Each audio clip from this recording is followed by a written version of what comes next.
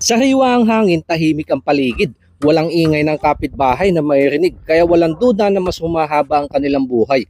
At higit sa lahat, hindi mo naiisipin ang lulutuin dahil yung pang-ulam na ang mismong gigising sa'yo kapag asa bukid. Isang magandang morning po mga kanayan. At eto, yung sinasabing kagandahan sa probinsya.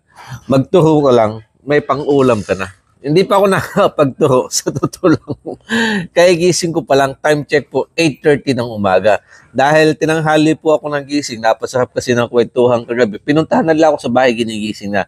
Para daw makunan ko to dahil nag-uumpisa na sila. Ayan naman po kung makikita nyo. Naglilinis sila ng kambing dahil yan naman ang inihahanda nila na aming magiging pananghalian. Ay, bulol pa. Kasi nga wala ako talaga sa wisyo. Antok na antok pa ako. Alam mo yung pakiramdam na sa tulong mo, saka bigla kang ginising. Ayun po. Kaya talagang wala pa ako sa wisyo. Eh, sabi ko sila munang bahala dyan. mag in lang po muna ako dito. Sa, dito sa isang tasa ng kape. Uy. Alis dyan, Avery. Ba't nagalis ka pa ng damit mo? Ang ganda ng galing mag-awit yan eh.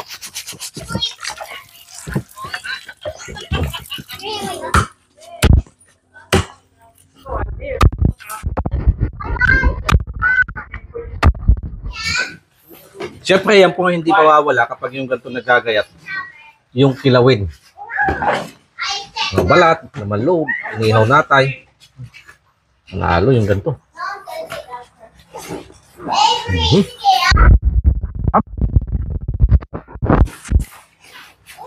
Pananghalian po namin yun. Hindi na kinaya yung gutom. Kaya ito, sasaglit muna tayo ng subo dito sa sinigang na tilapia tsaka yung kilawin. Yan, kumakain din ho yung mga kasamahan natin. Huh? Basta kambing, hindi po dyan mawawala ang pinapaitan. Ito po yung mga laman loob, saka balat.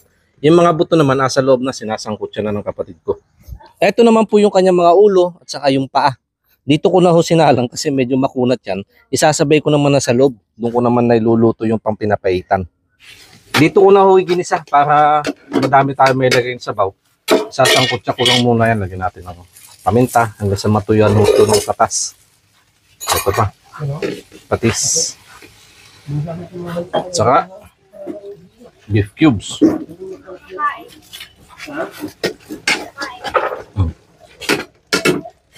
Sumurit ka dyan, American!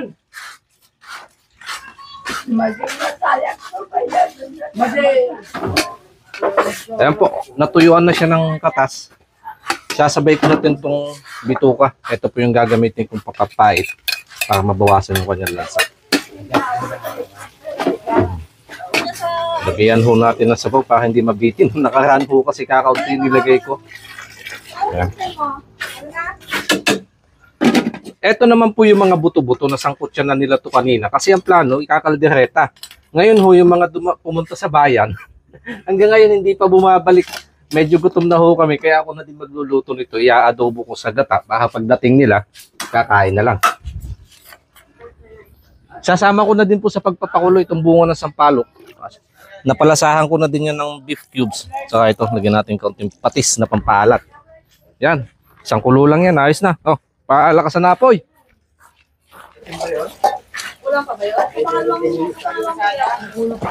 Dalawang piraso po ng niyog itong pinakayod namin. Kukunin ko lang yung kanya pinakakatanggata para mabilis ho magmantika.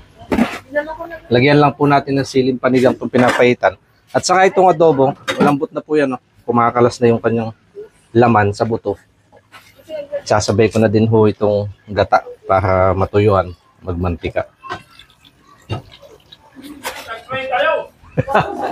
Hindi na ho sila makaintay, gutom na daw mga kaya. Salit na pagmamantikain ko pa sana, okay na din daw yan. O pa sa ganun, may papahid po yung kanyang sabaw dito sa ating kaning bahaw. Oh, game na, game na. Napabasol pa rin yun. Tao. Napabasol na tao. Pinapaitan. Ito po yung ating sabaw. Ilalagay ko na din dito. Yung gustong humigop, kumuha na lang ng baso. Daw, hindi mag- Sili ko yan. May sili. Oh. Oh, let's pray, let's pray. Dito, dito, dito. Yeah. Bago po tayo mag-umpisa sa ating pananghalian, gusto ko lang po sabihin na nagpapasalamat kami dahil yung aming pamilya ay nabiyayaan na isang katulad po ni Apong. So we are so blessed dahil nakarating po siya ng 104 years. Nag-turn siya 104 nitong June 2024. So sana may makakuha po sa amin nung anting ni Apong. Kaya ang lakas pa rin. Kaya ito, kasama ho namin siya pag umukbang. Okay, so let's sing together. Let's pray. One, two, three, sing. Wala namang kutsara. Tapukin ka, agyaman kang kanan, inaldaw at them, amen. Oh, Dani.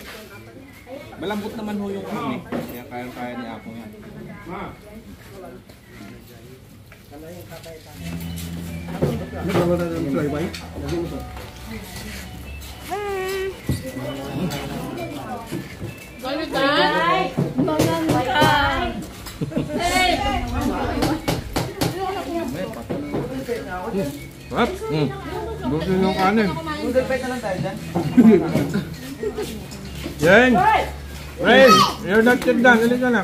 Ay, April.